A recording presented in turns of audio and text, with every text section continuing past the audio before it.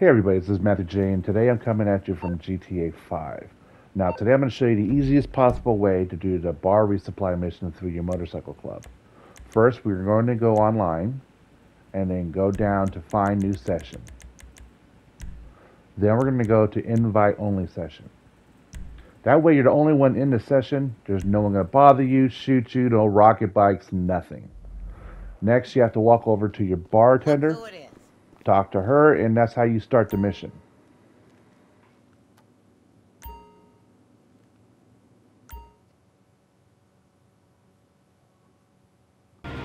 Now, I did a lot of fast forwarding, and don't ask me what happened to the car.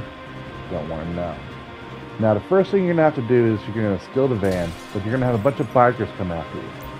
Now, once you're in the van, usually you only have to stay put, but sometimes you may have to back it up just a little bit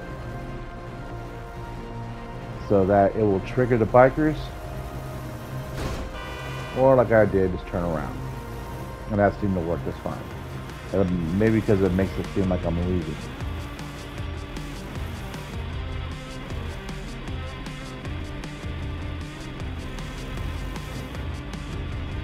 Now once the circles show up on the map just back back up and get out.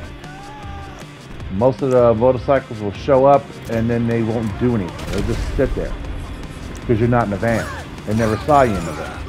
And they most of them won't shoot at you unless you shoot them first.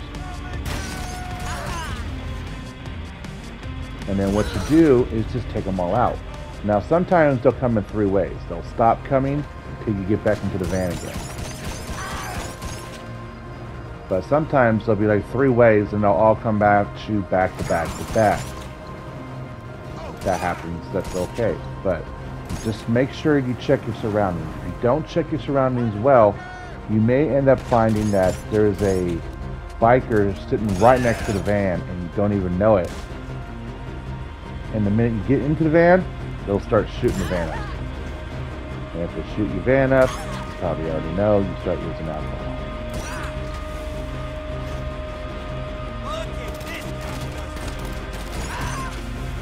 See, I didn't even know he was there. Just smack it up.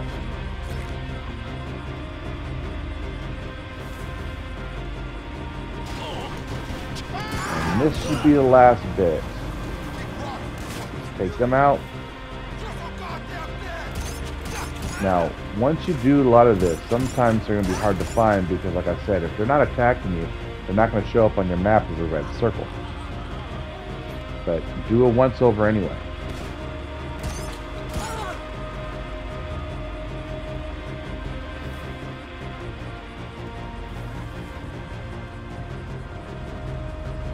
See? Right there. Just sitting right there. If I would have hopped in the van, she would have lit it up. Now, once they're all gone, let's hop in the van.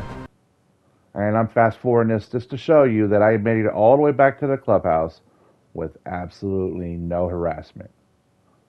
The only problems I had was those bikers at the very um, beginning, but that was it.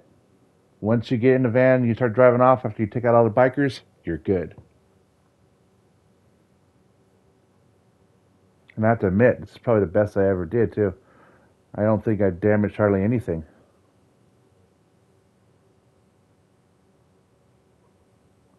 And then once you get in there, just pull up to the yellow circle and you're done.